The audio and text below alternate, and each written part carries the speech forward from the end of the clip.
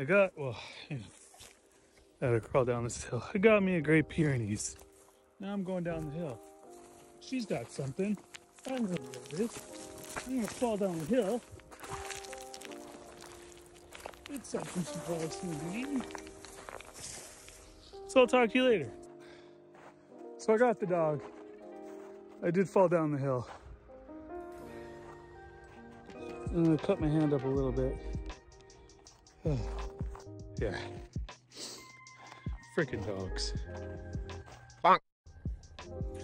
So the saga of having a Great Pyrenees continues. Uh, I go. This is open.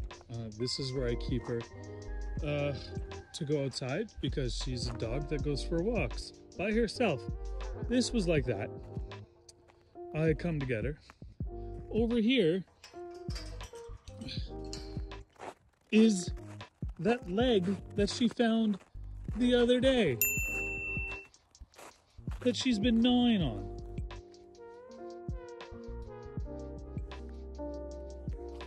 Freaking dogs.